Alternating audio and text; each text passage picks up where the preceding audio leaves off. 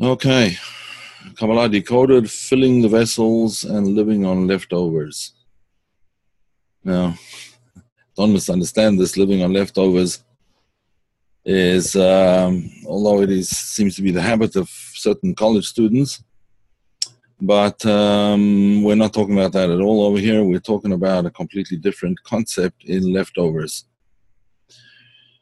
now um, probably on the opening screen when you came on before you probably saw uh, some of the quotes from kings I'll get back to that in a minute, but just before we get there, I just want to explain something. Very often, when we get a story told in Tanakh, in other words, in a biblical story or a story in one of the prophets, although the event actually happened, nevertheless, not every event that happened is recorded. But those that are recorded are recorded for a very good reason. And that reason is that they have in them a lesson, a, a timeless teaching that can be applied right throughout the generations to all kinds of people and in all kinds of situations. The story that we are going to uh, learn about tonight, uh, we'll read it soon, is just one of those stories. It is a story with tremendous depth to it and is really talking about largely what happens in our times or in the times when even in a specific instance when i said it happens in our times i meant more sort of in a general way that generally the generation seems to be in a situation of we don't feel very holy or spiritual a lot of the time it also applies to the individual situation the situation of the individual where a person has spiritual ups and downs, as we all know. What happens when a person is in somewhat of a spiritual slump? On an individual basis or on a com- community basis, maybe affecting even the entire world. So that's what the, what the story deals with and gives various aitzes or uh, bits of advice uh, as to how to deal with them. So let me share the screen, and you will soon see the um, yeah, you'll soon see the um, the quote from the prophets. Uh, is that clear for everybody? Uh, is it small enough to fit on the screen for everybody? Too big? Too small? Okay. Perfect. All right. Very good. Okay, so as you can see, uh, it's from Kings. Those of you who can read Hebrew can read it on your own in the Hebrew. Uh, I'm going to just do it in the English because most people here are probably not that familiar with the Hebrew. So um, if you are, you can see where to find it in Malachim Bet, Perik Dalid, Pasuk Aleph Ve'elach. Yeah, Aleph Bez Gimel Dalid Hey Vav. Maybe Zion in any event, I'm going to read in the English and then we'll start discussing it. Um, and if you have any questions along the way, please just write in the chat box. So, one woman from among the wives of the prophet's disciples cried out to Elisha, saying, Your servant, my husband, has died. Now the creditor has come to take my two sons to be his slaves. Um, let me just give a little bit of background to this verse, this woman, although it's not mentioned who she is in this particular instance, she happened to be the wife of the prophet Ovadia. She was the wife of the prophet Ovadia, and her husband had died or was killed. And uh, now the creditors come to take her two sons to be slaves. That was in uh, ancient times perhaps um, more common than we would like to think. That um, if you owed a debt, then you had to work it off, like sort of like creditors' prisons that they had in England. Except here, you could actually work off the debt uh, by doing whatever labor the creditor wanted you, wanted you to do. In any event, that was the situation. So she comes to the prophet Elisha. Elisha was the disciple of Elijah, Eliyahu. Elisha was one of the great prophets, and he had asked that when Elijah, Eliyahu, wanted to appoint him as his successor, he said, Only on one condition that I'll be able to do twice as many miracles as you do.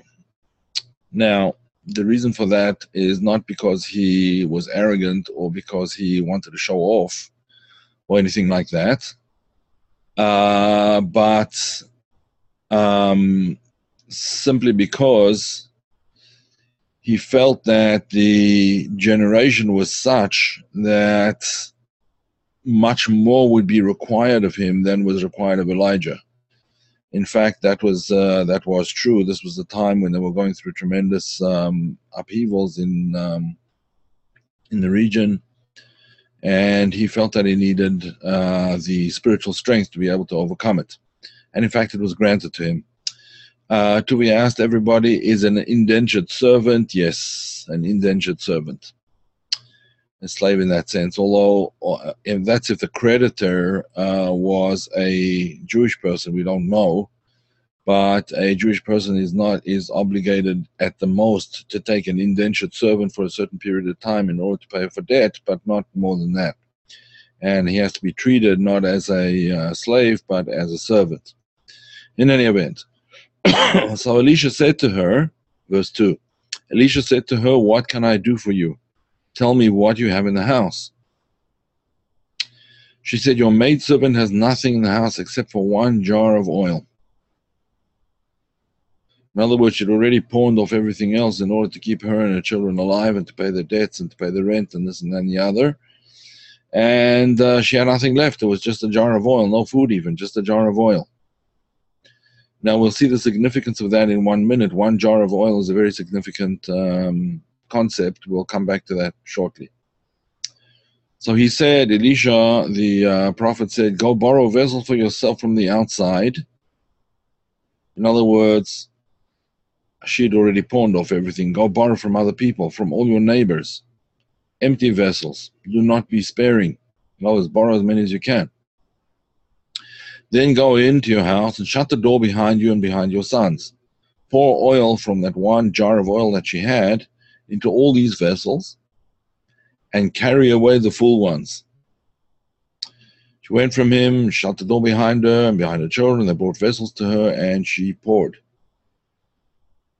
And she, in fact, continued pouring until all of the vessels were full. And verse 6 When all the containers were full, she said to her son, Bring me another vessel. He said, There are no more. And the oil stopped pouring. Miraculous event. She came and told the man of God, and he said, Go sell the oil and pay your creditor, and you and your sons will live on the remainder. You'll live on the leftovers. The remainder of the money or the remainder of the oil. We will see shortly how to interpret that. Okay, so let's go back now to the beginning. So, this woman from amongst the wives of the prophet's disciples, the um, she is described as among the wives of the prophet's disciples.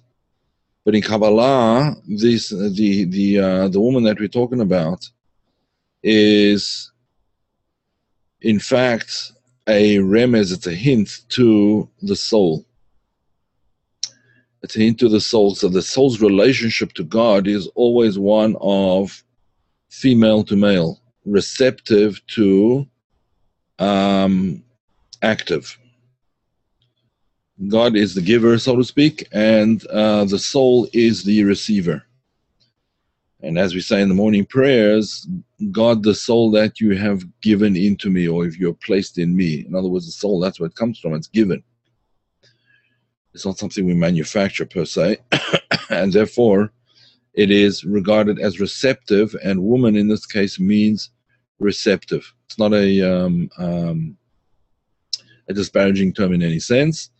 But one of the women is from among the wives of the prophet's disciples. Now, all souls are in fact the disciples of prophets. Now, this particular soul, why why are all souls the disciples of prophets? Because all souls have, at least in potential, if not in actuality, have the ability to become prophets themselves. But how do you become a prophet yourself? Through being a disciple of a prophet, through being a disciple of someone who has uh, a, a channel, so to speak, has opened up a channel to God through his soul. So we are the children, we are the sorry, the wives of the wives of the disciples of the prophets. In other words, we are the receptive channels for the prophets' um, teachings and methodologies and manners and methods of getting closer to God. Um, so he wouldn't be uh, he wouldn't be a wife of the prophet's disciple. He would be one of the prophets. Uh, Tubi is asking, what about someone who had an original soul? Someone has an original soul, in other words, one that was not in incarnation before, would be a prophet and not a wife of a wife of a prophet's disciple. In any event, this soul comes out and cries out to Elisha. Elisha, um, the the Kabbalistic works say Elisha really refers to God. Elisha, my God of the the letters Shin Ayin if you look across here in uh, in the Hebrew, the word Elisha can really be divided into two words, Eli and Shah. Eli means my God, and Shah means it's a concept in Kabbalah called the Shin Ein Nohorin, the 370 lights that come out, that descend, that shine out from the internal aspect of Keter. Shah is the Sha'ashuim. Sha'ashuim means the delight that resides in the innermost aspect of Keter. That's called Shah. So, in other words, my God of transcendent delight. Okay, so she comes to Elisha, ostensibly the prophet, but also talking about according to Kabbalah, talking about the manif- the the uh, grasping of godliness through the delight of the soul, the inner delight of the soul. And she says as follows: Your servant, my husband, has died. That aspect of the soul that is awake to godliness has died. The truth is, no aspect of the soul ever dies, but it is so fast asleep that it's as if it's in a coma, right? As if it's di- as if it died. So she said that's the way she felt it. She felt, in other words, the soul feels that my enthusiasm, my my uh, delight in God has died. It's in a state of, it's in a coma can be revived, but it has died. And now the creditor has come to take my two sons to be his slaves, and the creditor now refers to the creditor refers to the word for uh, creditor in Hebrew is hanoshe. So in Kabbalistic works, it explains that hanoshe means the one who causes me to forget. Kinashani Elokim. God has caused me to forget. It's another verse from elsewhere. But the creditor here, in that sense, is a um, is explaining Kabbalah the nefesh bahamit, the animal soul that a person has. Every person is endowed essentially with two forces within him. One is the force of godliness, and the other was the other is the sort of animal, natural um, the the life force of nature. There's the divine life force and the life force of nature. And there's a constant struggle between the two of these for supremacy. If anyone wants to read up more about this, it's the first part of the book of Tanya up till um, uh, really up till chapter 12, even further, but at least up till chapter 12. Um, from chapters 1 to 12 discusses this at great length. It's not the time to get into it now, but that is who the creditor is. The creditor is the animal soul, so to speak, the survival, the physical survival consciousness, as opposed to the godly consciousness of um, the divine soul. So the creditor has come to take my two sons to be his slaves. Who are the two sons? The two sons, says Kabbalah, are love and awe love and awe. These are the two primary powers of the soul. Those are called the sons. The two sons, love and fear, or love and awe, love of God and awe of God. And the credit that the animal soul has come to take them because the love that I feel is only for physical things.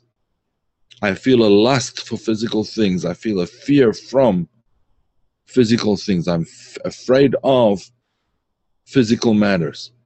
So the two sons who really ought to be the love and awe or fear of God are now being dragged into the love and fear of an animalistic type. Animalistic type love and fear. Love meaning being drawn towards, lusting for, and fear recoiling from, withdrawing from, but for the wrong reasons. So Elisha said to her, What can I do for you? Tell me, what do you have in the house? Now, this is a very significant question that he asks over here. What can I do for you? That's normal. But tell me what you have in the house. In other words, in order to be able to tie spiritual development to anything, there has to be some basis on which to uh, to on which to tie it uh, to tie it to. There has to be something there in order to allow enable the further development. If there's absolutely nothing there, then it's true that it's completely died. So he's asking what is it that you have? What do you have left? What do you have in your house? What is still there? Is there anything left? Is there anything left with which we can build? Similarly, with the story of Hanukkah, which we will uh, discuss uh, in about a month from now, all the oil was defiled and there was only one jar of oil left and that's the oil that they lit for the menorah. Same thing over here. He's asking, What do you have left? And she says, All I have is one jar of oil. That one jar of oil is very symbolic and very significant in terms of um, uh, Kabbalistic thought. The jar of oil represents, just like the jar of oil of Hanukkah, which was not defiled by the Greeks, it's that level of the soul which can never be defiled. So she says, I have nothing other than that undefiled and undefilable, if there is such a word, untaintable level of the soul. That's all I have left one jar of oil. So he said, okay, if you have a jar of oil that can, that we can use, go and borrow vessels for yourself from the outside. Go and borrow vessels from other places, from all your neighbors. Empty vessels. Do not be sparing. In other words, borrow a lot of vessels. And then what she does is she goes and she pours out oil, and uh, from the from the jar, and the oil from the jar fills all of the vessels that she has, and then she's able to sell the oil and to uh, live on the proceeds, go pay her, pay her debts and live on the proceeds. So it was a lot of oil. Um, now, let's just pause in the story over here and explain what this uh, pouring the oil into the empty vessels is all about. So, he says, first of all, it's clear to me that you have no vessels of your own. You have to go and borrow vessels. They don't belong to you, but you can use them. the Kabbalists explain that these empty vessels that we're talking about, these vessels are the Torah and the mitzvot, the commandments, the commandments of the Torah. It said, go and borrow them. In other words, even if you haven't acquired them as your own, they don't feel like they belong to you yet. They're not yours in the sense that they're they've become part of you even if they're not part of you, even if it's something foreign to you, even if it's something that's very distant from you, they belong to other people. It doesn't belong to you. Nevertheless, go and borrow those vessels from others from the outside, from your neighbors, but make sure that those vessels are empty vessels. Make sure that those vessels have nothing in them. In other words, make sure that the mitzvot, the commandments that you bring to the table, are not full of ego. You're not doing them in order to aggrandize yourself. You're not doing them in order to make yourself famous. You're doing them in an empty way, empty of you. That is what our sages teach. Our sages teach that only an empty vessel can be filled. Meaning to say, a vessel without ego is truly a vessel. A vessel that is full, full of itself, cannot contain anything. So he said, go and borrow empty vessels, do not be sparing. There's another uh, further a further explanation of this, that, which is that the empty vessels are actions which do not have, which are not filled or not uh, imbued with love and awe. They're vessels which are empty in the sense that they're empty of the love and awe with which a commandment should really be for, uh, be performed.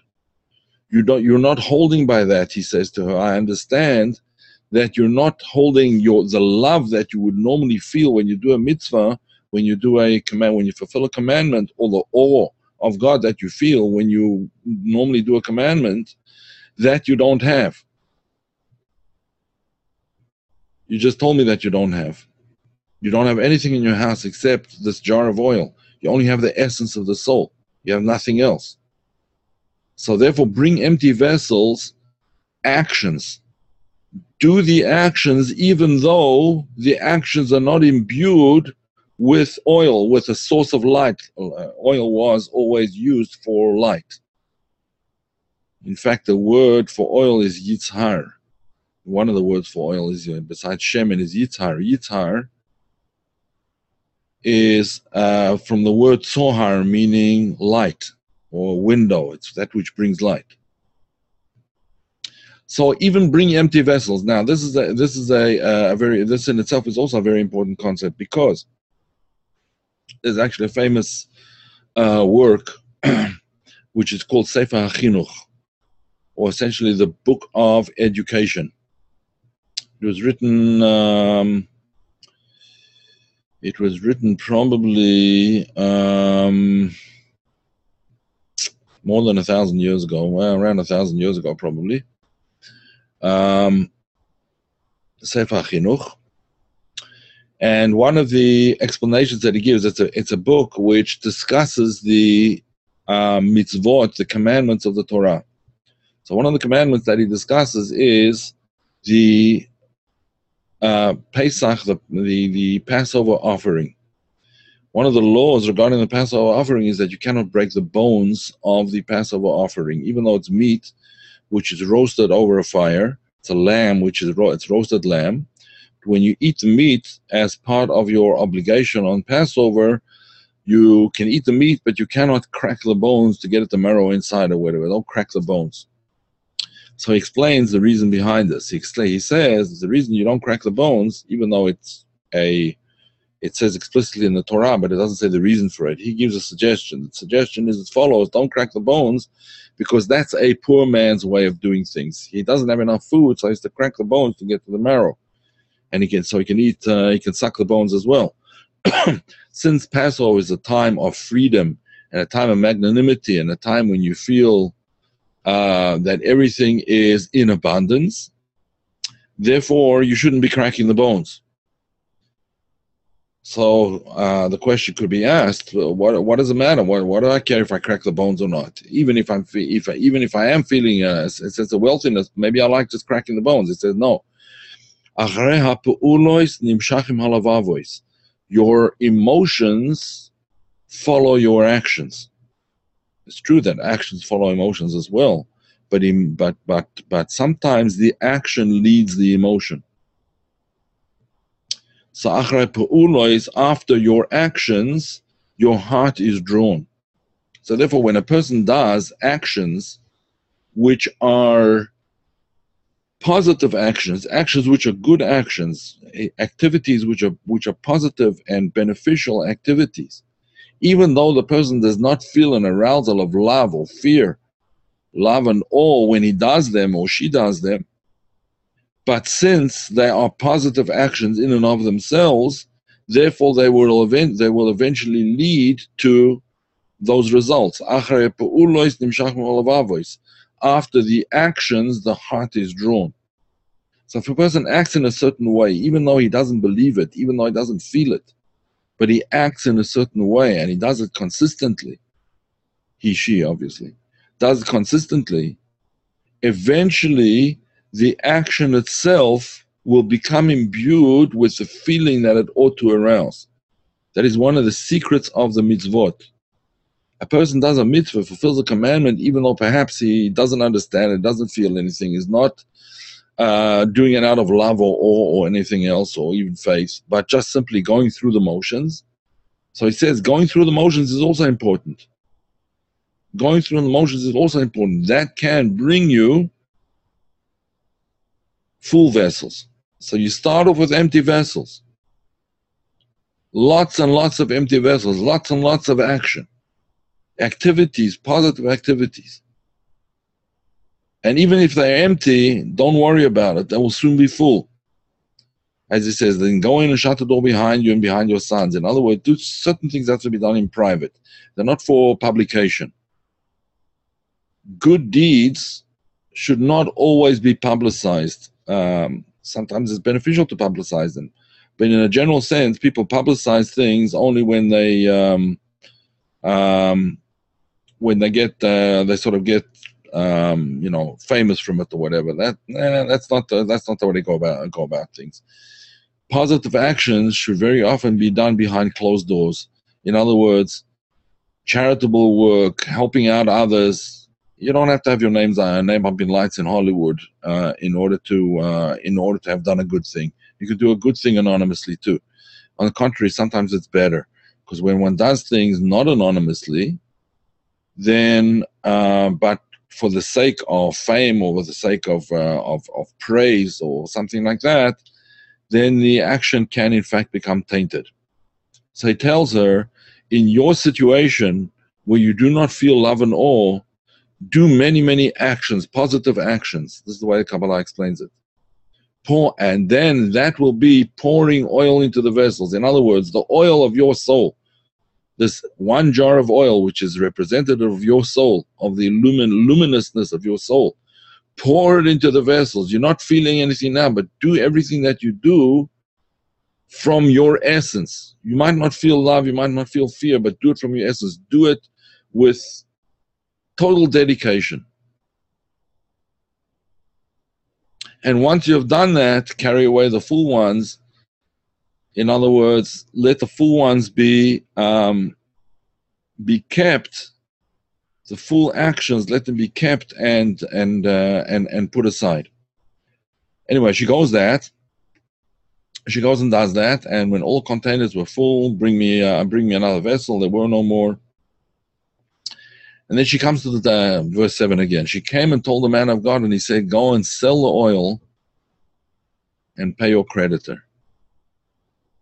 Sell oil, pay your creditor. In other words, once you have the, all of those good deeds that you have done, it is easy to get rid of the nefesh bahamit, get rid of the animal soul, the soul that the aspect of ourselves which wants to drag us down and wants to drag us into darkness. Go and pay your creditor. In other words, now you have a tremendous amount of the source of light in your actions. You have the oil in the vessels, you have the source of light in your actions. Now you can illuminate the place, and that will chase the creditor away, so to speak. It'll pay pay off and get rid of the creditor, and then you and your sons will live on the remainder. You will live on the leftovers. Now, what does this mean? It means that once you have aroused the essence of the soul through positive actions, now you can live on the remainder, meaning to say the remainder is actually the remainder of oil which was never poured into the vessels. It's not the remainder of oil which is in the vessels that she had and she keeps. It says that all the you can now live on all the rest of the oil that was never even in the vessels. In other words, you can now live, you and your sons, you and your love and awe of God will be able to live in an awakened state through the essence of the soul, which is never even um, imbued within the within the physical realm, imbued within the body. You'll now be able to live on a transcendent level, which is called the remainder. You and your sons will be able to live on that transcendent level. Now, how do you get to that transcendent level, which is called the remainder? Now, when we say the remainder, usually what we mean is the leftovers, right? What's left. The minute amount, the little bit that's left over after she's paid off her creditors. No, here it doesn't mean that. You and your sons will now be able to live once you've done, once you've gone through the procedure, you'll be able to live on the remainder, on all that oil which was not poured into the vessels, on the essential oils, so to speak, the oil of the essence you'll be able to live on that. You'll be able to live. The uh, the expression in Kabbalah is actually you'll be able to live in the using the kochot makifim. You'll be able to use the the powers that envelop a person, not the powers in the vessels. In order to be able to do that, you have to arouse the love and awe of God through actions. But once you are have accomplished those actions, those actions will now connect to something that um, that that that completely transcends you. That's called the remainder. That completely transcends you, and you'll be able to live now on a level of transcendence, so that the debt collector will never never need to come to you again. The nefesh bahamit, the animal soul, will not bother you any further. A person will be living with what is called in uh, technical language called living with Mesirut Nefesh, living with total self dedication, dedication of the self to a higher cause. And that's what she was told to do. So, just to recap um, and explain it uh, a little bit better. When a person is in, is in a state of um, not being able to when a person is in a state of not being able to arouse the love and fear of God that he normally would, he or she normally would uh, or ought to experience, and the person cries out to the man of God or directly to God, in fact, um, that I'm losing it. My powers of love and fear are being dragged into all kinds of other area, other areas where they don't belong. Then, in such circumstances, says the prophet, go and get vessels, act, do actions, and even if the actions are um, are you don't feel love and awe when you do these actions, nevertheless make sure that the vessels are empty. They're empty of ego and then just do the actions with devotion and do and put yourself into them as much as you can. Then the vessels start to fill up. But they're not just filled up with love and awe now. They're filled up with essential the oil of the essence the essence of the person that which gives essential light in a person's life. And then all of the vessels become filled, and one can make one's way through the world living on not only the um, uh, the full vessels, but one can go and live in a state of transcendent transcendence, which is called living on the remainder, living on that which is the inspiration which is higher than ourselves. And that is the story. Now, why do we read the story? Because this is actually the meaning of the Haftorah, which is read on this coming Sabbath, uh, coming Shabbat. The Haftorah is is the the story is actually the story part of the Haftorah, part of the readings from the prophets, which we read in uh, synagogue on uh, on a Saturday and Shabbos, is actually this story, and that's why we're reading it now. But that's the inner meaning of the story. Okay, any questions?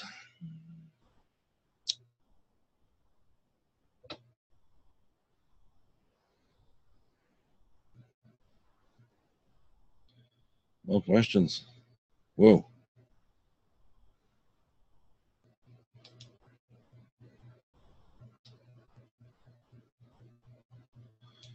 All right.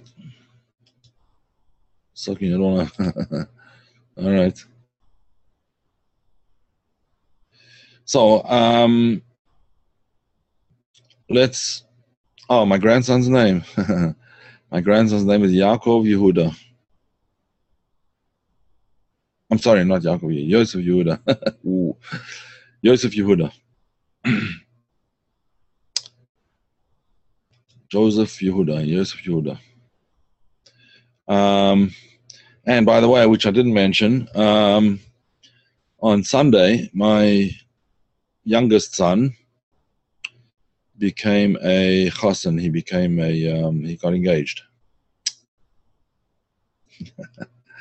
So lots of good things going on all around. Uh, yep. I still have another couple or not, but um, all right, I say the word again that indicates total dedication. It's you and your sons will live on the remainder. Um, that's the indication of total dedication. But the word really, what you're the word you're looking for is mesirut nefesh. I'll write it here. Mesirut Nefesh. Mesirut means giving over Nefesh, your soul, giving over your life, giving over your. Um, yeah, lots of good things happening. Um, yes, this absolutely does apply to someone who was religious in his younger years but does not now feel anything.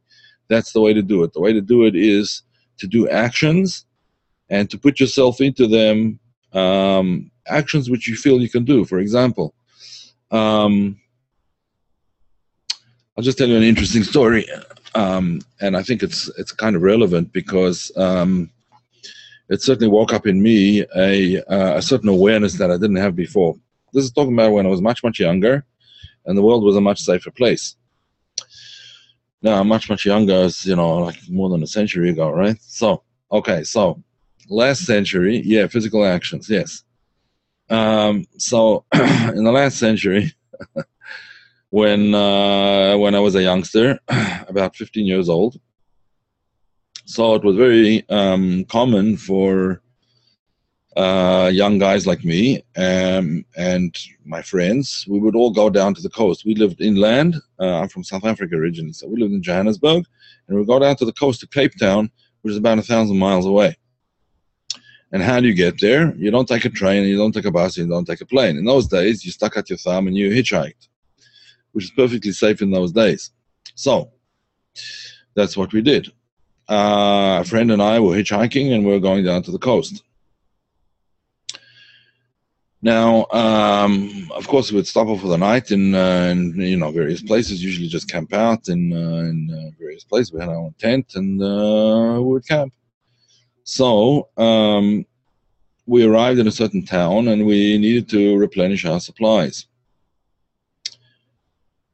but um, we did not know that in that particular province, province like a state, there was a provincial holiday on the day that we arrived, uh, and all the banks were closed, so we couldn't get any money out of the. Um, they didn't have ATMs in those days. You actually had to go into the bank. So um, the banks were closed, so we, we had very little money left on us, but we had just enough to buy ourselves some uh, a loaf of bread and some milk. And um, so that's what we did. We went to the sort of uh, cafe, and um, uh, I was in a small little, small little town, really, uh, you know, a provincial town.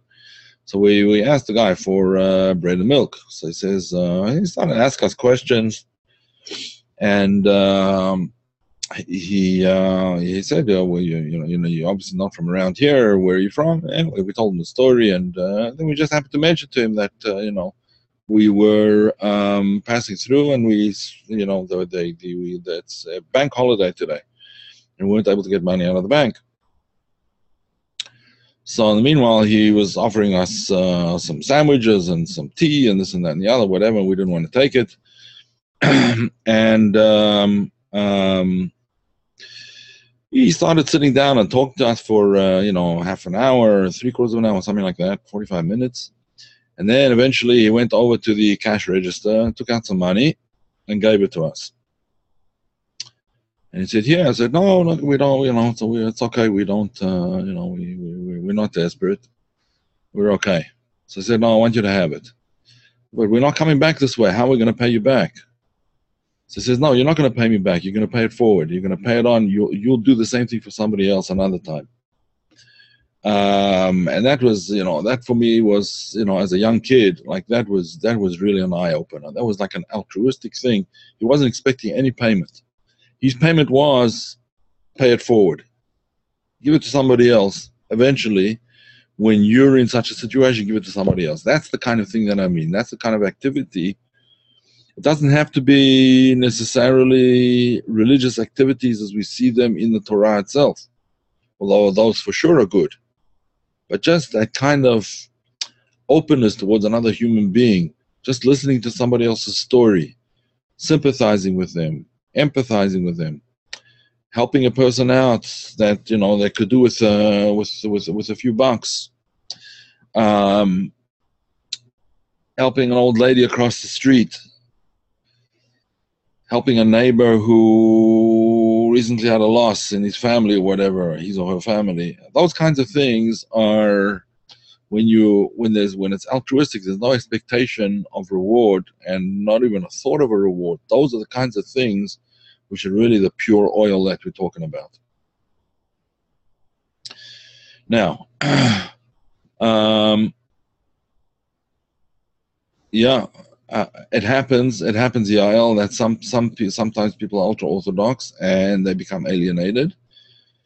And um, the best thing to do in such situations, uh, although obviously without knowing the person, it's very hard to say. But the best best thing to do is just no criticism, no judgment, just openness towards uh, such a person. If you're open to them and uh, hear them out it's obviously coming from a place of pain and perhaps a place of suffering. Something was, um, perhaps a person was mistreated or something like that. You know, who knows? Uh, but that's the best way to approach it. Um, does this Mesirat Nefesh relate to the world of Asiya? Um, it relates to all of the worlds. It relates to any of the worlds. It, it, the action is in the world of Asiya, but the end result is in the world of Atzilut, or even higher than that. Act for the Creator, exactly. Now, it's a very touching story. Yeah, you're right. Uh, I certainly feel it's a touching story, but the truth is that everybody experiences these stories. You just have to think about them. And you'll, if you go back in your life and you think about it, you'll note that there are, you'll notice that there are many, many stories that sort of been pushed to the back of our minds where someone did a kind deed of one sort or another and perhaps you didn't even notice it at the time or perhaps you did but have yet to pay it forward and uh, now you have a good opportunity um, can I give more detail concerning this concept? Which particular concept? I'm not sure which you what you're referring to, Annie. Which particular concept? The concept of Mesirut Nefesh, of yeah, Mesirut Nefesh, yeah, um, yeah. Mesirut Nefesh means Mesirut means giving over entirely. Nefesh is your soul, but it also means your life. So, we're not saying that a person has to completely dedicate his life every waking minute uh, and every sleeping minute, in fact, to uh, some particular cause. We're not saying that. It doesn't mean that. It does mean that as well. But what it does mean is a, a, an act which is completely selfless, or at least as selfless as it's possible for it to be. Like, for example, giving charity anonymously you don't know who you're giving it to necessarily, and they certainly don't know who it's coming from. That's the highest level of charity, as Maimonides points out. When you don't know who you're giving to, you give it, let's say, to an organization and they distribute it, you don't know who you're giving it to, and they don't know who it's coming from. Completely selfless. Um, so, the idea is that you you do an action with complete devotion, complete dedication, throwing yourself completely into it. Now, it doesn't matter what the act is. It could be just, it could be a minor thing.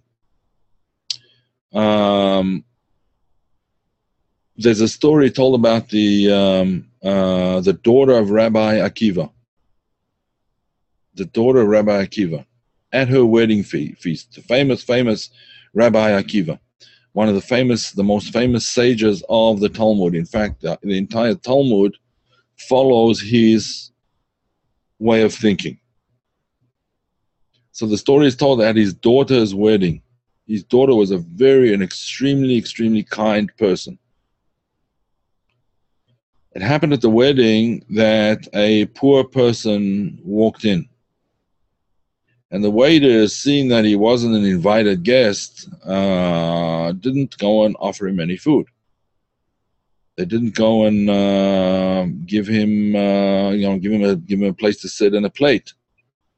Now, Rabbi Akiva's daughter, who was the, the she was the kala, she was the bride, saw this and was horrified that this poor man was not getting uh, getting served.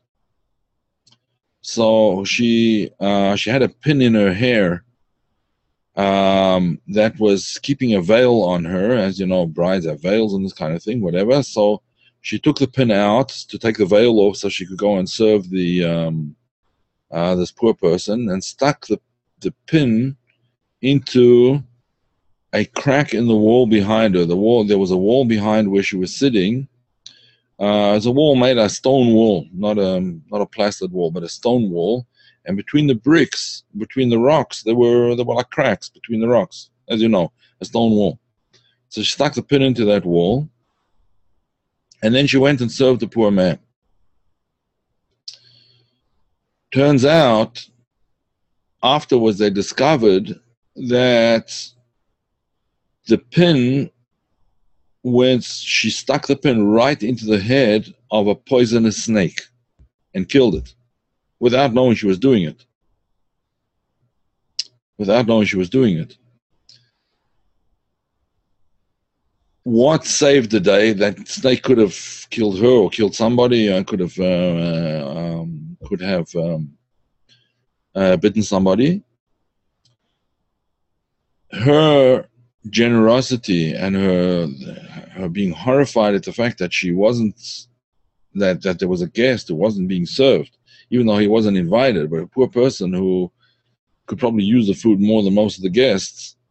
So she went over to take a plate herself to uh, to to this poor person. That kind of thing, without us knowing it necessarily, could save the day for somebody else to such an extent that it could save a life.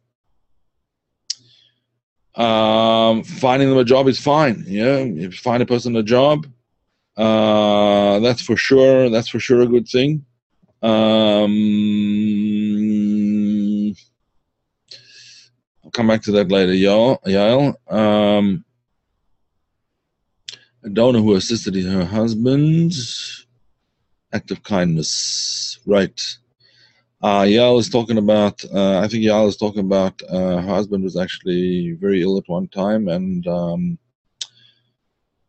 I think it was bone marrow, bone marrow transplant or something like that. Is that right? Right. Bone marrow transplant. There you go. An act of kindness, selflessness, giving blood. Um, giving giving food to a food bank, but doing it with with a wholeheartedness, you know, doing it with uh, dedication, and all kinds of actions. Uh, you'd be surprised if you if you look for opportunities to help out people, you'll find that there's hundreds of opportunities a day, every day. I make a habit of uh, of of giving. Many people do as well, but I make a habit of giving charity every morning. Every morning, um, hopefully without fail. Uh, you know, take out a couple of dollars, and if there's someone who needs it, if I don't find anybody who needs it, I put it in a charity box. It's a good thing to do. Keep a box for charity. every day put a few pennies or a dollar a few dollars whatever your financial situation and then give it away.